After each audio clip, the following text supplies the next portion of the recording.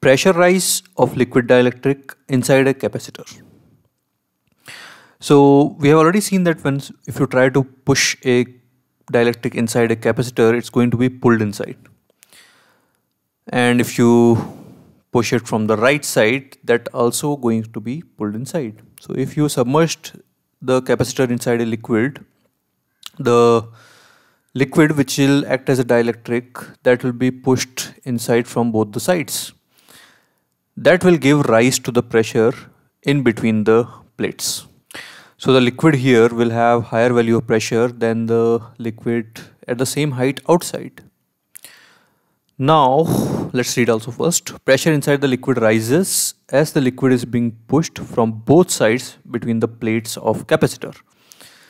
So now we understand understood why the excess pressure exists inside the capacitor and it's time to find the value of that.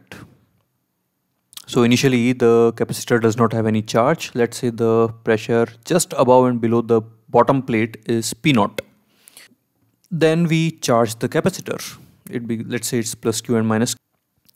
Now as discussed this liquid will be pushed from both sides so the liquid level will rise in between the plates and that will develop an excess, excess pressure at the bottom. So let's call that pressure P naught plus delta P now. So P naught is going to be same and the excess pressure which is occurred because of the capacitor is delta P. We need to find what is the value of this delta P.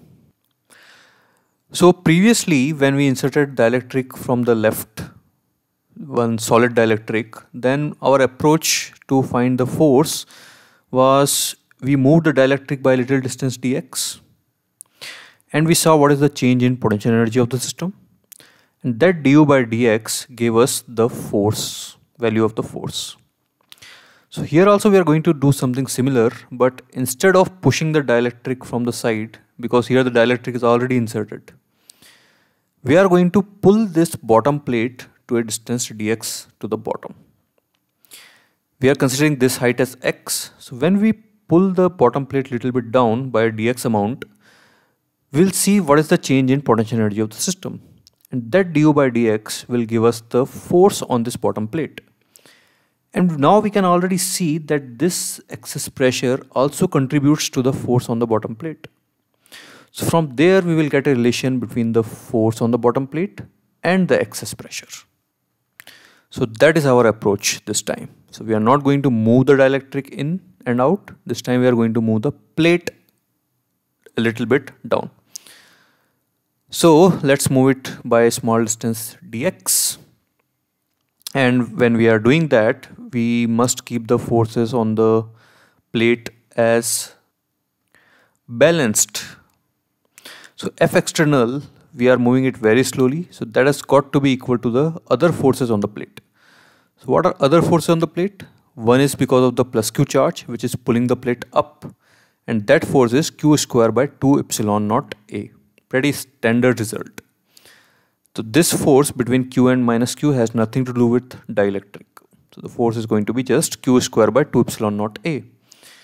And this plate is also being pushed down by this excess pressure delta p. See, because of P naught and P naught, the forces will be balanced.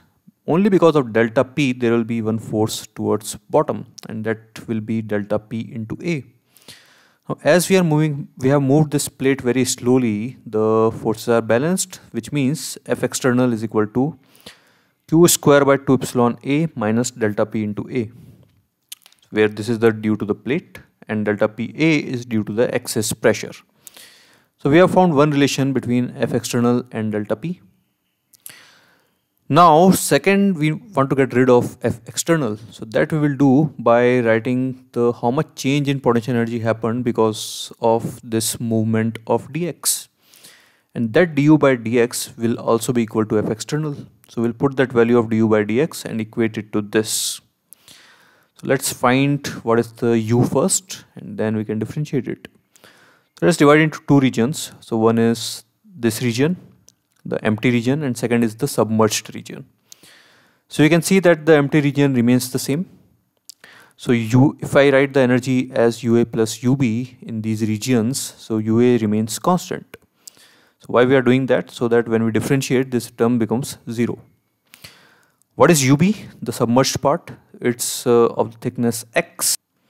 So the capacitance of CB will be A epsilon epsilon naught by x. And we are going to, because the Q is given in the problem, we will write the energy in the form of Q square by 2C. So this is CB of the submerged part, B part. And this becomes Q square x by 2A epsilon epsilon naught. Now it's time to find the F external by differentiating it. So we know that change in potential energy is F external into dx.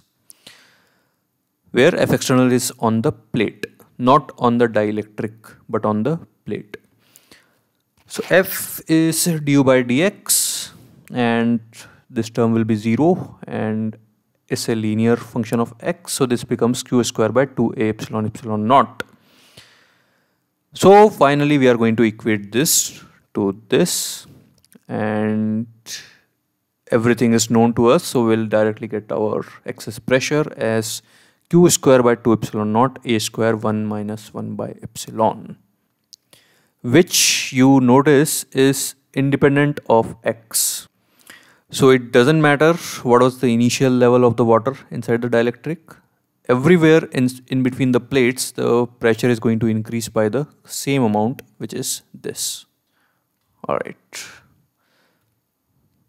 now I also want to acknowledge and especially thank Mr. Ambrish Srivastava sir because most of the concepts which I explained here I learned from his video which he put which, which, which he has put on his YouTube channel. So you can just type his name and you can watch his channel. A lot of interesting stuff there. So yeah that's it